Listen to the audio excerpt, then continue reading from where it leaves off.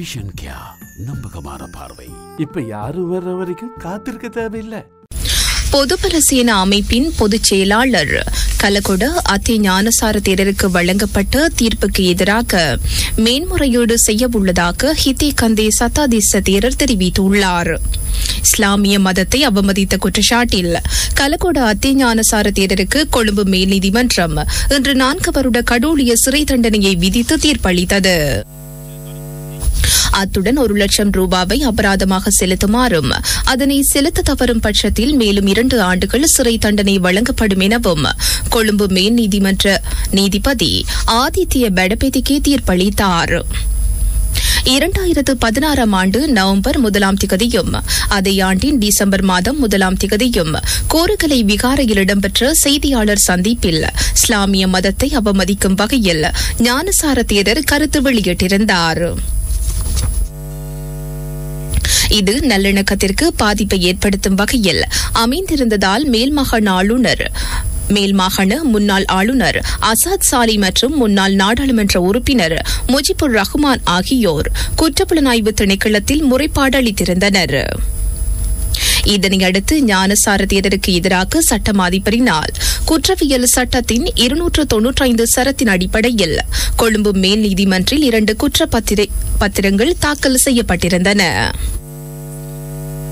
இந்த நிலையில் எட்டு வருடங்களாக குறித்த வழக்கு தொடர்பில் முன்னெடுக்கப்பட்ட விசாரணைகளின் அடிப்படையில் கலகுட அத்தே ஞானசார தேரருக்கு எதிரான அனைத்து குற்றச்சாட்டுகளும் நிரூபிக்கப்பட்டு அவருக்கு குறித்த இரண்டு வழக்குகளிலும் தலா இரண்டு ஆண்டுகள் என்ற அடிப்படையில் நான்கு வருட கடூழிய சிறை தண்டனை விதிக்கப்பட்டது. தேரர்கள் ஏனையவர்களை விடவும் தேசிய மற்றும் மத நல்லிணக்கத்தில் அதிக கவனம் செலுத்த வேண்டும் என கொழும்பு மேல் நீதிமன்ற நீதிபதி ஆதித்ய படபெதிக்கி இதன்போது சுட்டிக்காட்டியுள்ளார். தேரர் ஒருவரின் தவறான நடத்தை மற்றும் பொறுப்பற்ற செயற்பாட்டினால் எதிர்காலத்தில் முன்னரை போன்று மத மற்றும் இனங்களுக்கிடையில் பிரிவினைவாதம் ஏற்படக்கூடிய நிலை உள்ளதாகவும் அவர் தெரிவித்துள்ளார். கலகொட அத்திஞான ஞானசார தீரர் தவறுதலாக அந்த வார்த்தையினை பிரயோகித்திருக்க முடியாது. மாறாக அவர் வேண்டுமென்றே இஸ்லாமிய மதத்தை அவதூறுபடுத்தும் வகையில் கருத்து வெளியிட்டுள்ளார் என்பது விசாரணைகளின் மூலம் உறுதிப்படுத்தப்பட்டுள்ளதாக கொழும்பு மேல் நீதிமன்ற நீதிபதி ஆதித்ய பெடபெதிக்கே தெரிவித்துள்ளார். இதனையடுத்து கலகுட அதிஞான சாரதியரர் நீதிமன்ற வளாகத்திலிருந்து இன்று பிற்பகல் வெலிக்கடை சிறைச்சாலைக்கு அழைத்து செல்லப்பட்டதாக நீதிமன்றத்துக்கான எமது செய்தியாளர் குறிப்பிட்டார். நீதிமன்ற அவமதிப்பு குற்றச்சாட்டில் கலகுட அத்திய ஞானசார தேரருக்கு இதற்கு முன்னரும் சிறை தண்டனை விதிக்கப்பட்டது. இரண்டாயிரத்து பதினாறாம் ஆண்டு ஜனவரி மாதம் ஹோமஹம நீதவான் நீதிமன்றில் ஊடகவியலாளர் பிரகீத் எக்னெலிகொட கான் அமல் போன சம்பவம் தொடர்பான வழக்கு விசாரணைக்கு எடுத்துக் கொள்ளப்பட்ட போது நீதிமன்ற வளாகத்தில் அமைதியின்மையை ஏற்படுத்தும் வகையில் செயற்பட்ட குற்றத்திற்காக அவருக்கு ஆறு வருடங்களுக்கு ஒத்திவைக்கப்பட்ட பத்தொன்பது வருட கடூழிய சிறை தண்டனையை மேன்முறையீட்டு நீதிமன்றம் விதித்தது.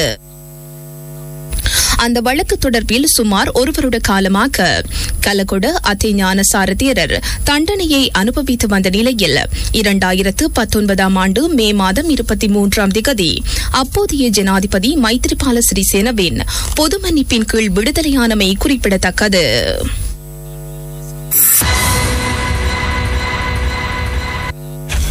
எதிர்வரும் ஜூன் மாதத்தில் சீனாவின் சினோபெக் நிறுவனம் எண்ணெய் சுத்திகரிப்பு நிலையத்தின் பணிகளை ஆரம்பிக்கும் என எதிர்பார்க்கப்படுவதாக வலு சக்தி அமைச்சர் கஞ்சன விஜயசேகர தெரிவித்துள்ளார். சினோபெக் ஓவர்சீஸ் இன்வெஸ்ட்மெண்ட் ஹோல்டிங் நிறுவனத்தின் அதிகாரிகளுடன் கொழும்பில் இடம்பெற்ற சந்திப்பின் பின்னர் வலு சக்தி அமைச்சர் தமது உத்தியோகபூர்வ எக்ஸ் தளத்தில் இதனை குறிப்பிட்டுள்ளார். இந்த நிலையில் ஏற்கனவே மதிப்பிடப்பட்ட குறித்த எண்ணெய் சுத்திகரிப்பு நிலையத்தின் திறனை மேலும் இரட்டிப்பாக்குவதற்கு தீர்மானித்துள்ளதாக அதன் அதிகாரிகள் இந்த சந்திப்பின் போது கூறியதாக வலு சக்தி அமைச்சர் கஞ்சன் விஜயசேகர தெரிவித்துள்ளார். நெருக்கடியால் பாதிக்கப்பட்டிருந்த இலங்கைக்கு பாரிய முதலீட்டு திட்டமாக இது கருதப்படுகின்றது. இரண்டாயிரத்தி இருபத்தி இரண்டாம் ஆண்டு இலங்கை கடுமையான பொருளாதார நெருக்கடியை எதிர்நோக்கியிருந்த நிலையில் சர்வதேச முதலீடுகளை உள்ளிருக்க நடவடிக்கை எடுக்கப்பட்டது. இதன் அடிப்படையில் அடிப்படையில் ஹம்பாந்தோட்டை சினோபெக் நிறுவனத்தினால் எண்ணெய் சுத்திகரிப்பு நிலையம் ஒன்றை ஸ்தாபிப்பதற்கு முன்மொழியப்பட்டிருந்தது. நான்கு தசம் ஐந்து பில்லியன் அமெரிக்க டாலர் மதிப்பிலான குறித்த முதலீட்டு திட்டத்திற்கு கடந்த நவம்பர் மாதம் அமைச்சரவை அனுமதி வழங்கியிருந்தவை குறிப்பிடத்தக்கது. கொழும்பு நுகர்வோர் விலைச்சுற்றன் அடிப்படையிலான முதன்மை பணவீக்கம் இந்த மாதம் வீழ்ச்சியை பதிவு செய்துள்ளது. தொகை மதிப்பு மற்றும் புள்ளி விவர திணைக்களம் இன்று வெளியிட்டுள்ள புதுப்பிக்கப்பட்ட அறிக்கையில் இந்த விடயம் தெரிவிக்கப்பட்டுள்ளது. இதற்கமைய கடந்த பிப்ரவரி மாதத்தில் ஐந்து தசம் ஒன்பது சதவீதமாக இருந்த கொழும்பு நுகர்வோர் விலைச்சுற்றன் அடிப்படையிலான முதன்மை பணவீக்கம் மார்ச் மாதத்தில் ஐந்து சதவீதமாக வீழ்ச்சியடைந்துள்ளது. எனினும் உணவு பணவீக்கம் கடந்த பிப்ரவரி மாதத்தில் மூன்று தசம் ஐந்து சதவீதமாக காணப்பட்ட நிலையில் மார்ச் மாதத்தில் மூன்று தசம் எட்டு சதவீதமாக அதிகரிப்பை பதிவு செய்துள்ளது.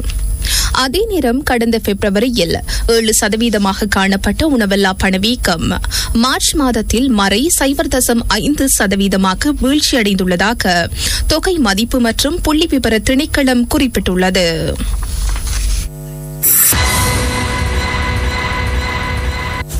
இலங்கை எதிர்நோக்கம் கடன் மறுசீரமைப்பு சிக்கல்களை தீர்ப்பதற்கு வாய்ப்பு ஏற்பட்டுள்ளதாக தெரிவிக்கப்பட்டுள்ளது.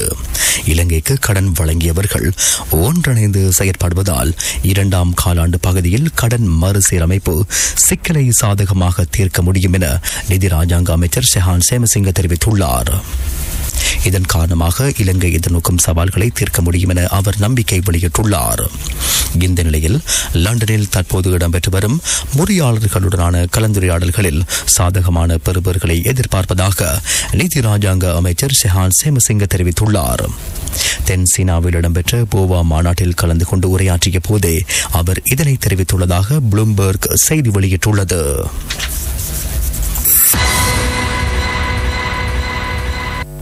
முன்னாள் சுகாதார அமைச்சர் கெகலிய ரம்புக்வெல்ல உள்ளிட்ட சந்தேக நபர்களை மீள விளக்குமறியலில் வைக்குமாறு நீதிமன்றம் உத்தரவிட்டுள்ளது. தரமற்ற இம்னோக்ளோப்ளின் தடுப்பூசியை இறக்குமதி செய்த குற்றச்சாட்டு தொடர்பில் முன்னாள் சுகாதார அமைச்சர் கெகலிய ரம்புக்வெல்ல உள்ளிட்டோர் கைது செய்யப்பட்டிருந்தனர். இது தொடர்பான வழக்கு இன்றைய தினம் மாளிக கந்த நீதவான் லோச்சனி அபய விக்ரம முன்னிலையில் விசாரணைக்கு எடுத்துக் கொள்ளப்பட்டது. இதன்போது சந்தேக நபர்களை எதிர்வரும் ஏப்ரல் மாதம் எட்டாம் தேதி வரையில் மீள விளக்கமறியலில் வைக்குமாறு நீதவான் உத்தரவிட்டுள்ளார்.